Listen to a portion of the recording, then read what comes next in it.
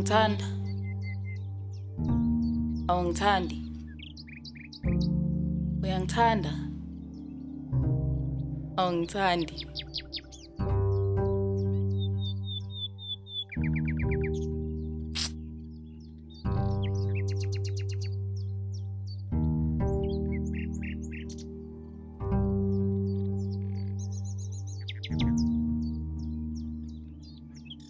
Ngiyakuthanda.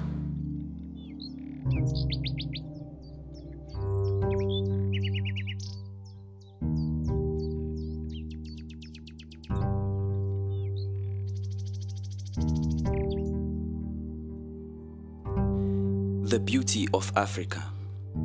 See beautiful African queens as they take pride in their cultural sets, hearts waiting for amalobol. Mbino Wasicho bringing families together, the closure, warmth, the connection of love. Dear old South Africa, how beautiful you looked in your days. How I wish I could experience those days in my days just to connect with the love of Ilobola. The first love that was not really a test but meant to bring warmth. So I met this beautiful African queen from the Zululand. Intokazi enhle ubuhle bayo buyaqhakaza ngathi ebusuku. La ilobola ngizolikhipha. I want to keep her. She's so perfect in my eyes she can do no wrong. If you really love me, We need to do things right. Son, we went there to pick the lily flower you have chosen from the Ngubane garden. Perfect, uncle. Please tell me how well you went. We've been charged. She has an honors degree, graduated top of her class, and currently working on her master's in science. 100,000 Ilobola. I just graduated from varsity. This shouldn't be tragedy, but I still owe NSFAS half of what I've been charged plus added tax. My two siblings are relying on me for their first year tuition black tax. Doubtless I love her with my soul body. Now I stand a chance to lose her because my pockets are that bad.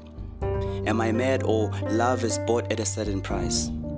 These are not lies, but before money, love was and is a gift from God. Do we really have to pay for it?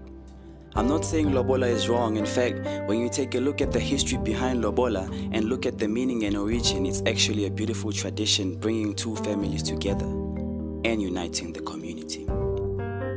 The cattle given for a bride would go to her father and brother, who in turn, when it's their turn to get married, they will be able to also have cows. It was a redistribution of wealth, but now Lobola is for those with good credit. It's about affordability instead of culture and love. The nature has moved from thanking to compensating. The conversation has moved from she was loved here, can you do the same to we spent a lot of money on her, can we get a refund? Young couples start their marriage with nothing. If love went hand in hand with money, many would have met with full pockets. But see, see, love alone is enough to bring warmth and home and make families whole. What happens if you really love a girl but don't really have the cash to lobola her? Do you just let go of the love of your life because of money? Love alone is enough. Please know that it is only love that connects strangers and turns them into family. If there was no love, lobola would be in vain. So let's cherish love than we cherish money.